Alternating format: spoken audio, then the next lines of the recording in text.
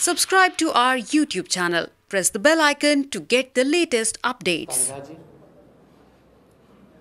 मानयोग Governor Punjab, Shri Banwari Lal Purohit ji Chief Secretary secretary साहब DGP साहब राजभवन के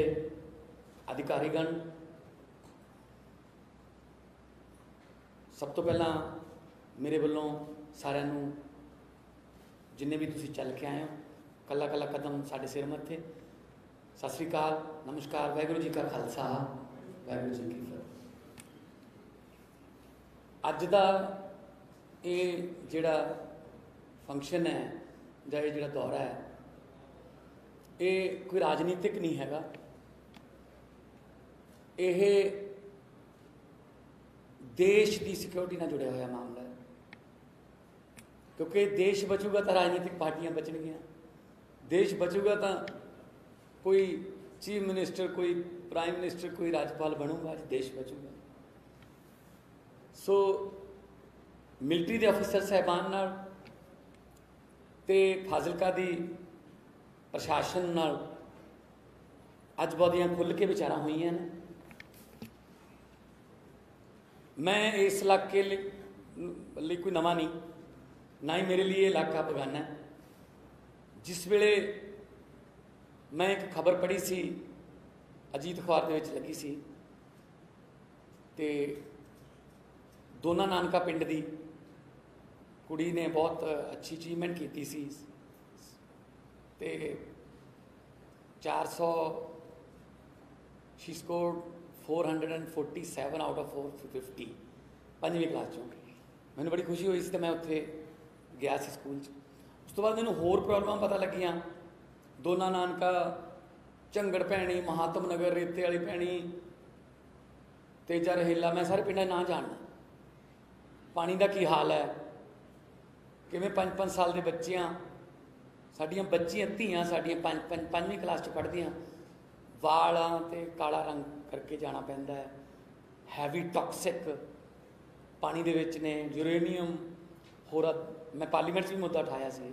ਸੋ ਮੈਂ ਇਸ ਇਲਾਕੇ 'ਚ ਬਹੁਤ ਆਉਂਦਾ ਰਿਹਾ।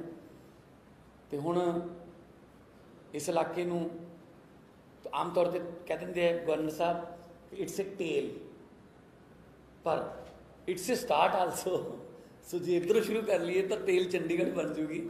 ਇਹ ਸਟਾਰਟਅਪ ਲਈ ਅੱਛਾ ਹੈ। ਸੋ ਇਹਨੂੰ ਅਸੀਂ ਤੇਲ ਨਹੀਂ ਕਹਾਂਗੇ। ਇੰਡਸਟਰੀ ਲੈ ਕੇ ਆਵਾਂਗੇ ਇੱਥੇ। ਬਾਰਡਰ ਦੇ ਯੂਥ ਨੂੰ ਕੰਮ ਮਿਲੇ।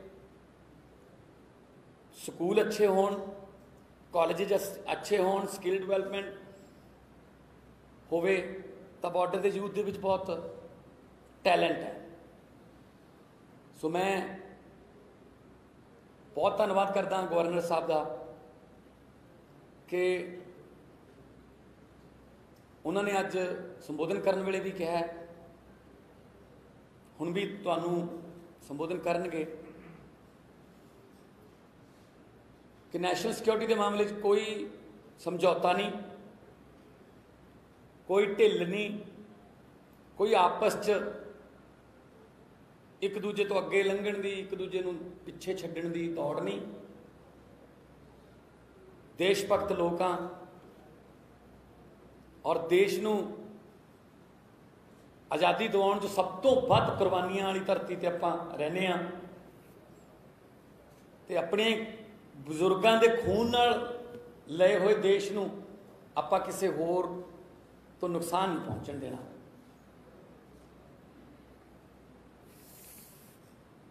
ਮੇਰੀ ਇਹੀ ਬੇਨਤੀ ਹੈ ਤੁਹਾਨੂੰ ਸਾਰਿਆਂ ਨੂੰ। ਇੱਕ ਬਹੁਤ ਵੱਡਾ ਇਸ਼ੂ ਹੈ ਅੱਜ ਵੀ ਉਹ ਇਸ਼ੂ ਡਿਸਕਸ ਹੋਇਆ ਹੈ। ਮੈਂ ਪਾਰਲੀਮੈਂਟ 'ਚ ਬੋਲਿਆ ਸੀ। ਤਾਰ ਦੇ ਪਰਲੇ ਪਾਸੇ ਵਾਲੀਆਂ ਜ਼ਮੀਨਾਂ ਜਿਹੜੀਆਂ ਨੇ, ਬਹੁਤ ਵੱਡਾ ਇਸ਼ੂ ਆ ਉਹ। ਟਾਈਮ ਘੱਟ ਮਿਲਦਾ ਕੰਮ ਕਰਨ ਨੂੰ। ਕਈ ਵਾਰੀ ਟੈਨਸ਼ਨ ਵੱਧ ਜਾਂਦੀ ਹੈ। ਰੋਕ ਵੀ ਦਿੱਤਾ ਜਾਂਦਾ ਬੀਐਸਐਫ ਵੱਲੋਂ ਜਾਂ ਸਿਕਿਉਰਿਟੀ ਵੱਲੋਂ ਕਿ ਨਹੀਂ ਜਾ ਸਕਦੇ। ਉੱਚੀਆਂ ਫਸਲਾਂ ਬੀਜ ਨਹੀਂ ਸਕਦੇ। ਕੰਪਨਸੇਸ਼ਨ ਸਰਕਾਰਾਂ ਨੇ ਦਿੱਤਾ ਹੀ ਨਹੀਂ ਹੁਣ ਤੱਕ। ਸੋ ਤੇ ਅਸੀਂ ਗੌਰ ਕਰ ਰਹੇ ਹਾਂ। ਬਹੁਤ ਸੀਰੀਅਸ ਲੈਵਲ ਤੇ ਗੌਰ ਕਰ ਰਹੇ ਹਾਂ ਕਿ ਉਹਦਾ ਕੋਈ ਹੱਲ ਇਹੋ ਜਿਹਾ ਕੱਢਿਆ ਜਾਵੇ ਕਿ ਤੁਹਾਨੂੰ ਆਪਣੇ ਹੀ ਮੁਲਕ 'ਚ ਆਇਡੈਂਟੀ ਕਾਰਡ ਦਿਖਾ ਕੇ ਆਪਣੇ ਖੇਤਾਂ 'ਚ ਨਾ ਜਾਣਾ ਪਵੇ। ਕੋਈ ਇਸ ਤਰ੍ਹਾਂ ਦਾ ਹੱਲ ਨਿਕਲੇ ਕਿ ਬਹਿ ਕੇ ਮੈਂ ਸੈਂਟਰ ਗਵਰਨਮੈਂਟ ਨਾਲ ਮੈਂ ਇਹ ਮਾਮਲਾ ਉਹ ਜਿਹੜਾ ਉਹ ਸਾਂਝਾ ਕਰੂੰਗਾ ਔਰ ਗਵਰਨਰ ਸਾਹਿਬ ਨੇ ਮੈਨੂੰ ਇਹ ਬਹੁਤ ਵੱਡੀ ਅੱਜ ਮੇਰੇ ਲਈ ਖੁਸ਼ੀ ਦੀ ਖਬਰ ਦਿੱਤੀ ਹੈ ਕਿ ਤੁਸੀਂ ਜੋ ਵੀ ਪੁੱਟ ਕਰੋਗੇ ਉੱਥੇ, ਗਵਰਨਰ ਸਾਹਿਬ ਆਪਣੇ ਵੱਲੋਂ ਉਹਨੂੰ ਐਪਰੀਸ਼ੀਏਟ ਕਰਨਗੇ ਤੇ ਉਹਨੂੰ ਅੱਗੇ ਤੱਕ ਪਹੁੰਚਾਉਣ ਲਈ। ਸੋ ਆਮ ਤੌਰ ਤੇ ਤੁਸੀਂ ਦੇਖਿਆ ਨਹੀਂ ਹੋਣਾ ਪਹਿਲਾਂ ਕਦੇ ਕਿ ਰਾਜਪਾਲ ਤੇ ਮੁੱਖ ਮੰਤਰੀ ਇੱਕੋ ਹੈਲੀਕਾਪਟਰ 'ਚ ਜਾਂ ਇੱਕੋ ਸਟੇਜ ਤੇ ਬਹੁਤ ਘੱਟ ਹੁੰਦਾ। ਪਰ ਅਸੀਂ ਇਹ ਪਹਿਲੇ 20 25 ਦਿਨਾਂ 'ਚ ਹੀ ਸ਼ੁਰੂ ਕਰ ਰਹੇ ਹਾਂ ਔਰ ਅੱਜ ਯੂਨੀਵਰਸਿਟੀ 'ਚ Maharaja Ranjit Singh university technical university Bathinda, ਉੱਥੇ ਉਹਨਾਂ ਦੀ ਕਨਵੋਕੇਸ਼ਨ ਸੀ। ਬੜਾ ਅੱਛਾ ਗਵਰਨਰ ਸਾਹਿਬ ਨੇ ਉੱਥੇ ਯੂਥ ਨੂੰ ਮੈਸੇਜ ਦਿੱਤਾ। ਅਬਦੁਲ ਕਲਾਮ ਜੀ ਦੀਆਂ ਉਦਾਹਰਨਾਂ ਦੇ ਕੇ, ਕਿਉਂਕਿ ਅਬਦੁਲ ਕਲਾਮ ਜੀ ਨਾਲ ਉਹਨਾਂ ਦੀ ਦੋਸਤੀ ਸੀ, ਜਦੋਂ ਇਹ ਐਮਪੀ ਸੀਗੇ। ਤੇ ਇਹ ਡਿਫੈਂਸ ਕੰਸਲਟ ਕਮੇਟੀ ਦੇ ਮੈਂਬਰ ਸੀਗੇ ਤਾਂ ਉਹਨਾਂ ਨਾਲ ਅਕਸਰ ਮੀਟਿੰਗਸ ਜਿਹੜੀਆਂ ਹੁੰਦੀਆਂ ਨੇ ਸਟੈਂਡਿੰਗ ਕਮੇਟੀ ਦੀਆਂ ਜਾਂ ਕੰਸਲਟ ਕਮੇਟੀ ਦੀਆਂ, ਉਹਦੇ ਵਿੱਚ ਆਉਂਦੇ ਰਹਿੰਦੇ ਆ ਵਿਗਿਆਨੀ। ਸੋ ਬੜਾ ਅੱਛਾ ਲੱਗਿਆ ਕਿ ਤੁਸੀਂ ਵੀ ਆਏ ਹੋ। ਨਹੀਂ ਤਾਂ ਕੋਈ ਆਮ ਤੌਰ ਤੇ ਕੀ ਹੁੰਦਾ ਕਿ ਬਾਹਰੋਂ ਹੀ ਚਲੇ ਜਾਂਦੇ ਆ, ਬਾਏ ਬਾਏ ਕਰਕੇ। ਅਸੀਂ ਲੋਕਾਂ 'ਚ ਜਾਣਾ ਸਟਰੋਂਗ ਮੈਸੇਜ ਅੱਜ ਜਿਹੜਾ ਮੈਨੂੰ ਸਭ ਤੋਂ ਵਧੀਆ ਲੱਗਿਆ ਗਵਰਨਰ ਸਾਹਿਬ ਦਾ, ਇਹ ਸੀਗਾ ਸਾਰੇ ਅਫਸਰਾਂ ਨੂੰ ਤੇ ਕਿ ਲੋਕਾਂ 'ਚ ਜਾਓ। ਪਬਲਿਕ 'ਚ ਜਾਓ, ਉਹਨਾਂ ਦਾ ਕੌਨਫੀਡੈਂਸ ਜਿੱਤੋ। ਉਹਨਾਂ ਨੂੰ ਡਰ ਨਾ ਲੱਗੇ ਤੁਹਾਡੇ ਤੋਂ। ਕਿ ਮਿਲਟਰੀ ਆ ਗਈ, ਪੁਲਿਸ ਆ ਗਈ। ਉਹ ਕਹਿਣ, ਹਾਂ, ਮਿਲਟਰੀ ਆ ਗਈ। ਇਹ ਆਪਣੇ ਨੇ। ਜਾਓ ਪਿੰਡਾਂ 'ਚ ਜਾਓ, ਜਾ ਕੇ ਰੋਟੀ ਖਾਓ। ਉਹਨਾਂ ਕੋਲੇ ਉਹਨਾਂ ਦੇ ਮਹਿਮਾਨ ਬਣੋ। ਤੁਹਾਡਾ ਇੰਨਾ ਵੈਲਕਮ ਹੋਊਗਾ ਕਿ ਤੁਸੀਂ ਹੈਰਾਨ ਮੰਨ ਜਾਓਗੇ ਕਿ ਲੋਕ ਤੁਹਾਨੂੰ ਕਿਵੇਂ ਚਾਹੁੰਦੇ ਨੇ ਤੇ ਕਿਵੇਂ ਲੋਕ ਜਿਹੜੇ ਨੇ, ਉਹ ਇਹ ਚਾਹੁੰਦੇ ਨੇ ਕਿ ਸਾਡਾ ਪ੍ਰਸ਼ਾਸਨ ਸਾਡੇ ਕੋਲੇ ਆਵੇ, ਸਾਡੀ ਮਿਲਟਰੀ ਸਾਡੇ ਕੋਲੇ ਆਵੇ। ਜਿਹੜੇ ਸਨ ਜਦੋਂ ਜਦੋਂ ਆਪਾਂ ਸੁੱਤੇ ਪਏ ਹੁੰਨੇ ਆ, ਏਸੀ ਲਾ ਕੇ ਤਾਂ ਸਾਡੀ ਜਿਹੜੀ ਮਿਲਟਰੀ ਹੈ, ਉਹ 50 ਡਿਗਰੀ ਸੈਲਸੀਅਸ ਦੇ ਤਾਪਮਾਨ ਚ ਜੈਸਲਮੇਰ ਤੇ ਗੰਗਾਨਗਰ ਦੇ ਬਾਰਡਰਾਂ ਤੇ ਸਾਡੀ ਰੱਖਿਆ ਕਰ ਰਹੀ ਹੁੰਦੀ ਹੈ। ਜਦੋਂ ਅਸੀਂ ਸੁੱਤੇ ਪਏ ਹੁੰਦੇ ਹਾਂ, ਹੀਟਰ ਲਾ ਕੇ, ਤਾਂ ਉਦੋਂ ਸਾਡੀ ਮਿਲਟਰੀ ਜਿਹੜੀ ਹੈ -10 ਤੋਂ 20 ਡਿਗਰੀ ਸੈਲਸੀਅਸ ਟੈਂਪਰੇਚਰ ਦੇ ਵਿੱਚ ਕਸ਼ਮੀਰ ਦੀ ਬਾਰਡਰ ਤੇ ਸਾਡੀ ਰਾਖੀ ਕਰ ਰਹੇ ਹੁੰਦੇ ਆ। ਸੋ ਉਹਨਾਂ ਲਈ ਕੌਣ ਨਹੀਂ ਵੈਲਕਮ ਕਰੂਗਾ? ਥੋੜਾ ਜਿਹਾ ਚੈਨ ਤੋਂ ਚੇਂਜ ਹੋ ਗਿਆ, ਨਹੀਂ ਤਾਂ ਮੈਂ ਵੀ ਜਦੋਂ ਛੋਟਾ ਬੱਚਾ ਸੀਗਾ, ਜਦੋਂ ਕਿਤੇ ਫੌਜ ਦੀ ਕਾਨਵਾਈ ਜਾਂਦੀ ਸੀ, ਆ ਬੱਚੇ ਬਾਏ ਬਾਏ ਜ਼ਰੂਰ ਕਰਦੇ ਸੀਗੇ ਕਿ ਫੌਜ ਨੂੰ ਇੰਨੀ ਰਿਸਪੈਕਟ ਹੁਣ ਥੋੜਾ ਜਿਹਾ ਬਦਲ ਗਿਆ ਥੋੜਾ ਮਾਹੌਲ, ਦੁਬਾਰਾ ਲੈ ਕੇ ਆਵਾਂਗੇ। ਫੋਰਸਸ ਦਾ ਮੋਰਲ ਡਾਊਨ ਨਹੀਂ ਹੋਣ ਦੇਣਾ, ਕਿਸੇ ਪੱਖ ਤੋਂ ਨਹੀਂ। ਭਾਵੇਂ ਉਹ ਤਨਖਾਹ ਪੱਖੋਂ, ਭਾਵੇਂ ਸੋਸ਼ਲ ਲਾਈਫ ਪੱਖੋਂ, ਸੋ ਅਸੀਂ ਇੱਕ ਇੱਕ ਸਕੀਮ ਸ਼ੁਰੂ ਕੀਤੀ ਹੈ ਕਿ ਪੰਜਾਬ ਪੁਲਿਸ ਦੇ ਵਿੱਚ ਜਿੰਨੇ ਵੀ ਅਫਸਰ ਨੇ, ਜਵਾਨ ਨੇ, ਉਹਨਾਂ ਦੇ ਬਰਥਡੇ ਵਾਲੇ ਦਿਨ ਇੱਕ ਬੜਾ ਵਧੀਆ visiting card signed by CM and DGP ਉਤੇ ਲਿਖਿਆ ਹੋਊਗਾ ਕਿ ਤੁਹਾਡੇ ਪਰਿਵਾਰ ਨੂੰ ਬਹੁਤ-ਬਹੁਤ ਮੁਬਾਰਕਾਂ ਤੁਹਾਡੀ ਸਿਹਤ ਦੀ ਕਾਮਨਾ ਤੁਸੀਂ ਸਾਡੀ ਪੰਜਾਬ ਪੁਲਿਸ ਦੇ ਵਿੱਚ ਬਹੁਤ ਅੱਛੀ ਸੇਵਾ ਨਿਭਾ ਰਹੇ ਹੋ ਉਹਨਾਂ ਦੇ ਘਰੇ ਪਹੁੰਚੋਗੇ ਉਹ ਐਪਰੀਸ਼ੀਏਸ਼ਨ ਹੋ ਜਾਊਗਾ ਉਹਨਾਂ ਨੂੰ। ਜੇ ਪੁਲਿਸ ਨੂੰ ਇੱਜ਼ਤ ਦੇਵਾਂਗੇ ਤਾਂ ਲੋਕਾਂ ਦੀ ਇੱਜ਼ਤ ਕਰਨਗੇ।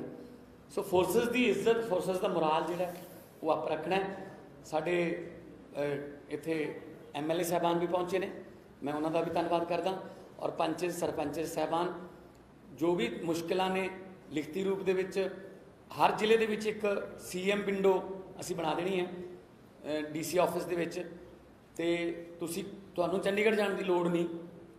ਦਿਹਾੜੀ ਭੰਨੋਗੇ, ਪੈਸੇ ਲੱਗਣਗੇ, ਤੇਲ ਫੂਕੋਗੇ। ਤੁਹਾਨੂੰ ਜੋ ਵੀ ਤੁਸੀਂ ਇੱਥੇ ਦਿਓਗੇ ਇਮੀਡੀਏਟਲੀ ਕੰਪਿਊਟਰ ਰਾਹੀਂ ਉਹ ਸਾਡੇ ਆਫਿਸ 'ਚ ਪਹੁੰਚ ਜਾਊਗਾ ਸੋ ਸਰਕਾਰ ਤੁਹਾਡੇ ਦੁਆਰਾ ਆਊ। ਜੇ ਵੋਟਾਂ ਮੰਗਣ ਅਸੀਂ ਡੋਰ ਟੂ ਡੋਰ ਆ ਸਕਦੇ ਹਾਂ, ਫਿਰ ਤੁਹਾਡੇ ਕੰਮ ਕਰਨ ਕਿਉਂ ਨਹੀਂ ਆ ਸਕਦੇ ਡੋਰ ਟੂ ਡੋਰ? ਸੋ ਇਹ ਸਾਡਾ ਇਹ ਸਰਕਾਰ ਦਾ ਮਕਸਦ ਹੈ ਕਿ ਸਰਕਾਰ ਲੋਕਾਂ ਦੀ ਹੈ ਤੇ ਲੋਕਾਂ ਲਈ ਹੈ। ਬਹੁਤ ਬਹੁਤ ਧੰਨਵਾਦ। ਸਤਿ ਸ਼੍ਰੀ ਅਕਾਲ, ਸਰ।